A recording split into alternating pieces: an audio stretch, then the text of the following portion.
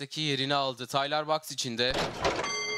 Beyaz bayrak kaldırıldı, start verildi ve koşu başladı. Rakiplerine göre 3 boy kadar geride kaldı. 5 numaralı Obalı iç kulvardan 13 numaralı Şahlan Kız dış kulvardan 6 numaralı Polat Ağa öne atak yaptı. Bu safkanlardan 6 numaralı Polat Ağa az liderliği aldı. 13 numaralı Şahlan Kız ikincilikte bir boy kadar geride 7 numaralı Rüzgar Kanat 12 boy kadar gerisinde 2 numaralı Ahentay.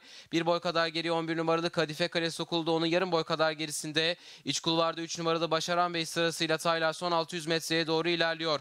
6 numaralı Polat Ağa liderliğini koruyor. Fark bir boy kadar. 7 numaralı Rüzgar Kanat şimdi ikinciliğe girmeye çalışıyor. İçeride 13 numaralı Şahlan Kız var. Bir boy kadar geride. İç kulvara yakın 3 numaralı Başaran Bey dışında 11 numara 11 numaralı Kadife Kale ve 2 numaralı Ahentay sırasıyla viraj bu şekilde dönüyor. Bariyer dibine yakın 6 numaralı Polat Ağa liderliğini korumaya çalışıyor orta kulvardan. 7 numaralı Rüzgar Kanat'ın daha geriden 2 numaralı Ahentay'ın çabalarıyla Safkanlar son 300 metreye girmek üzere koşudaki liderlik. 6 numaralı Polat Ağa'da fark 1,5-2 boy kadar. Şimdi dış kulvardan 2 numaralı Ahentay ikinciliğe girmeye çalışıyor ortada. 7 numaralı Rüzgar Kanat var 6 numaralı Polat Ağa. Farkı 3 boya kadar çıkardı 2 numaralı. Ahentay ikinciliğe girdi 6 numaralı.